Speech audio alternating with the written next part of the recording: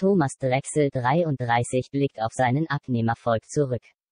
Seit Anfang 2009 verkörpert der Schauspieler bei GZSZ die Figur des Max Tuner Krüger. Im Laufe der Zeit haben sich aber sowohl seine Rolle als auch er deutlich verändert, vor allem körperlich. Vor wenigen Jahren hatte Thomas nämlich noch knapp 30 Kilo mehr auf den Rippen. Doch schließlich fasste er den Entschluss ordentlich abzuspecken, darauf ist er heute sehr stolz.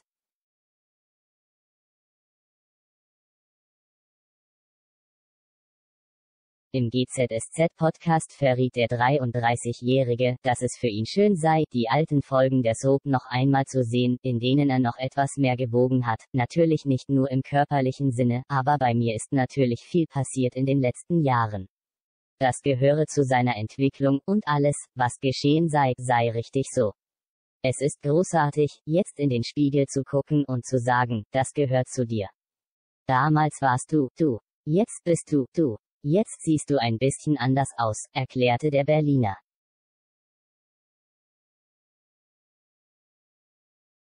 Der ausschlaggebende Grund für Thomas Radikalabnahme war der Rat seines Arztes. Dieser sagte ihm damals, dass er, wenn er nicht bald anfange abzunehmen, in einigen Jahren mit Diabetes und Schlaganfällen zu kämpfen haben würde.